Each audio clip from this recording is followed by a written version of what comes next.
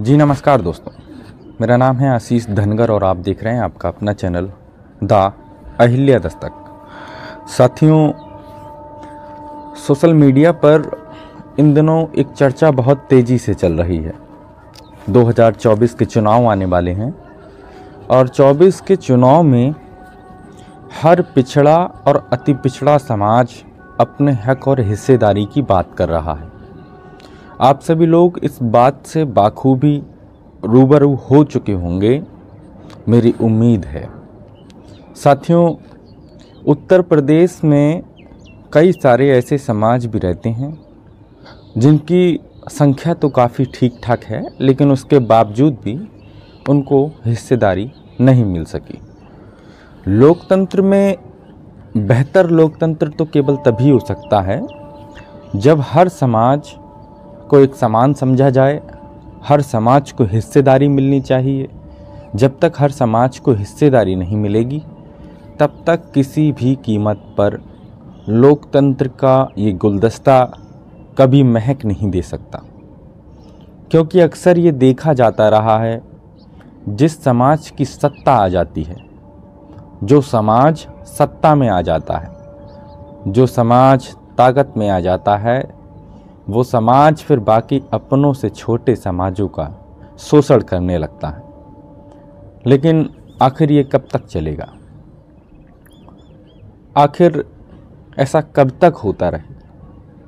आप लोगों ने देखा होगा, मैं सीधे तौर पर कहूँ, ओबीसी के अंदर सही मायने में चंद जातियों का ही विकास आखिर क्यों हो पाया?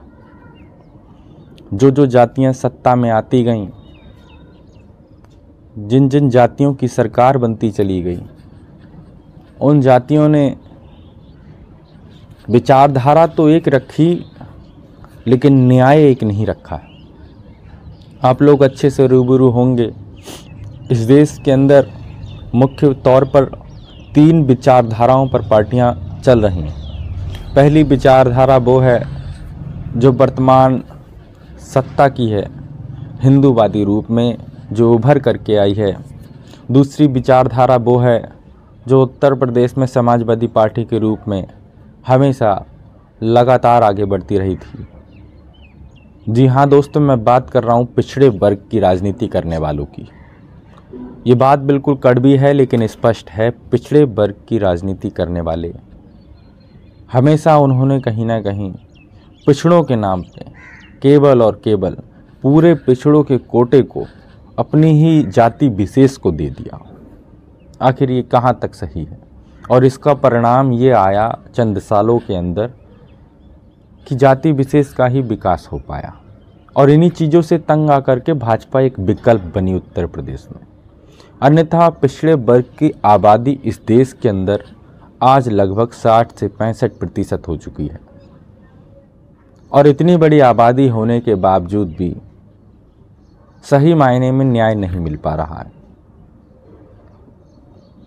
कहीं ना कहीं एक दृष्टि से देखा जाए तो गलत है, चाहे वो पिछड़ा हो या वो दलित हो या शोषित या वंचित समाज हो, क्योंकि हम इन समाजों की बात इसलिए करते हैं, देश में सबसे ज़्यादा अत्याचार इन्हीं समाजों पे होता है। ऐसे ही जब बहुजन विचारधारा की बात आई तो मायावती जी ने जाति विशेष का विकास ज़्यादा किया।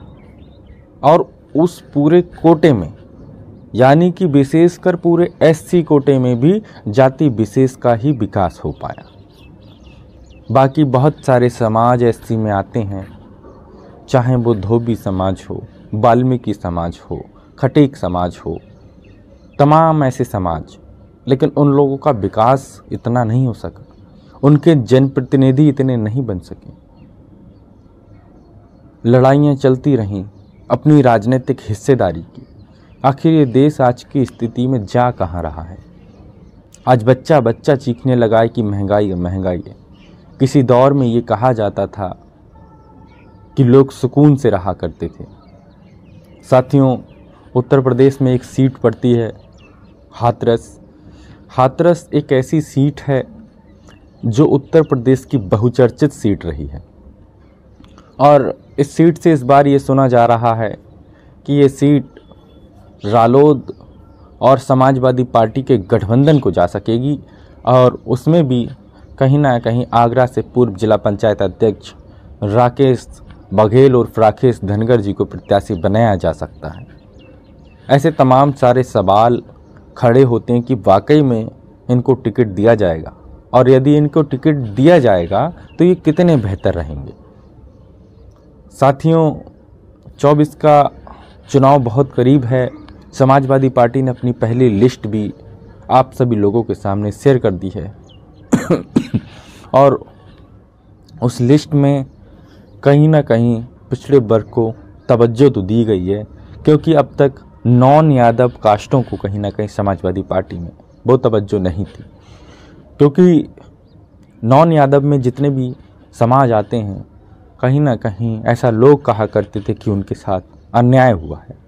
उन्होंने हमेशा वोट देने का काम किया, लेकिन उनको कभी भी वोट लेने के लायक बनाया ही नहीं गया। तो साथियों, उत्तर प्रदेश की हाथरस की सीट यदि राकेश बघेल के खाते में डाल दी जाती है तो शायद पूरे आंकड़े बदलते हुए नज़र आ सकते हैं। मुकाबला बड़ा कड़ा हो सकता है, इसमें कोई दो राय नहीं है, क्योंकि आगरा की एतमादपुर सीट से राकेश बघेल पहले भी लड़ चुके हैं। और बहुजन समाज पार्टी, जो आज ये कही जा रही है कि सबसे निचले तबके पे कहीं ना कहीं पूरे उत्तर प्रदेश में पहुँच चुकी है, क्योंकि किसी भी राजनीतिक पार्टी की हैसियत केवल उसके प्रत्याशियों की जीत से नापी जाती है। तो साथियों, इन आंकड़ों के अनुसार देखा जाए तो बहुजन समाज पार्टी जो आज बदतर स्थिति में आ चुकी है, उस पार्टी से भी टिकट लेकर के राकेश धनगर उर्फ़ राकेश बघेल एतमादपुर की सीट से लगभग एक लाख वोट लेकर के आए। ये बड़ी बात है कि प्रदेश की सबसे तीसरे नंबर की पार्टी कहें तो कोई बुरा नहीं होगा आज के दौर में, क्योंकि पार्टी के प्रत्याशियों की स्थिति ही ऐसी है। और वो पार्टी से जब व्यक्ति एक लाख के मैच वोट ला सकता है तो शायद समाजवादी पार्टी और रालोद से टिकट मिल गया तो हाथरस के अंदर एक बहुत बड़ी चुनौती के रूप में खड़ा हो सकता है। लेकिन अब सवाल पैदा होता है कि आखिर टिकट दिया जाएगा या नहीं दिया जाएगा। साथियों, ये तो खैर आने वाला समय ही बताएगा। हम आप लोगों के साथ इसी तरह बने रहेंगे। कमेंट सेक्शन में अपनी राय ज़रूर दीजिएगा। हम फिर मिलेंगे एक नए वीडियो, एक नए टॉपिक के साथ में। तब तक के लिए जय हिंद, जय भारत।